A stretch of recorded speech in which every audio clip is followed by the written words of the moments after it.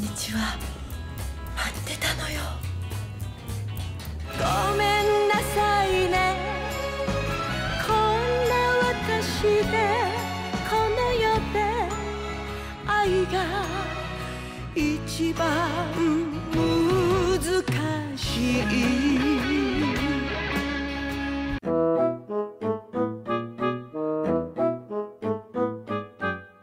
この世で愛が一番難しいって一曲の歌の中にこんな、うん、難しい言葉がね6回も出てくるんですよ。もうなんかこう哲学者が言うようなこの世で愛は一番難しいみたいな。そんなのみんな知ってるよねって。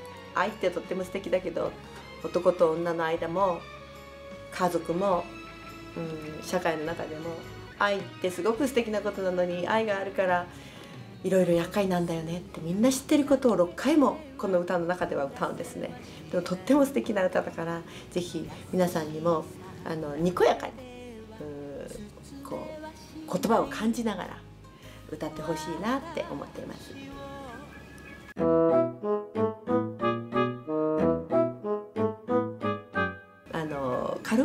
ってもらえたら嬉しいなって私自身もそれを心がけたいしあとワルツなので三角形のリズムなのね。だけどポイントは一拍目にアクセントを持ってくる。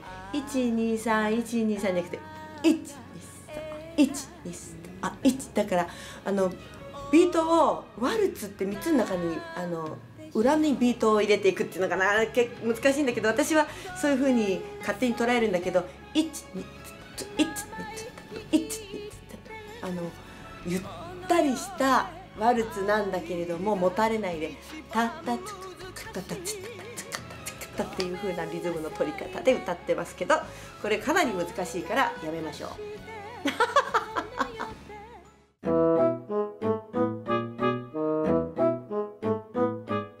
私ね感動したのはね日本の若者がなんてスマートにこのうん席を譲ってくれたりちょっと困っている時に手を貸してくれたりあのできるんだろうってあの一番びっくりしたのは、うん、タクシーを並んでいる時に冬で全然来なかったの。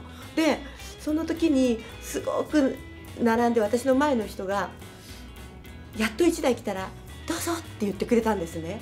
あいいですいいですみんなこんなに待ってるから乗ってってくださいって言ったら「うん、あなたが持っているカートをあの向こうに持ってかなきゃダメでしょ」ってでそれをあの私が持ってってあげるから先に乗ってってお大事にって言ってくれたんですよ。その時にねなんか今の若者はっていうことが多かったんだけれどももうこうなんていうのかな人にの役に立つっていうか人に親切をいかにスマートにできるかってまあなんか若者から学びました。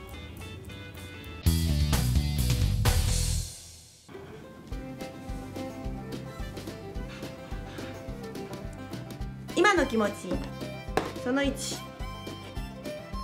今日夜のトレーニング。今日サボりたいな。まあなんかこう仕事が幼いかなとか思ってます。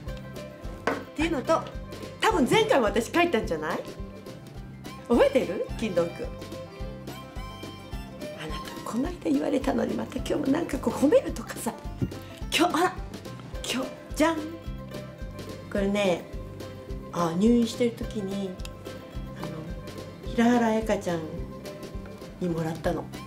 であじゃあ私が退院して仕事を始めたらその時から使おうと思ってで今日仕事始めたのでつけてきて金ドンが「あ今日は可愛いのつけてますね」って言うかなと思って全然見えな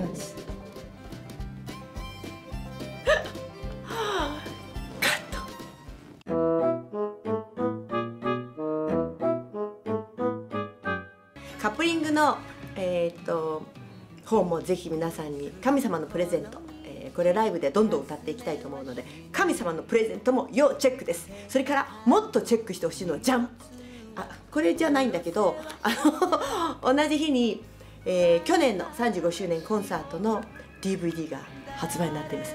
この DVD マジマジ見てください。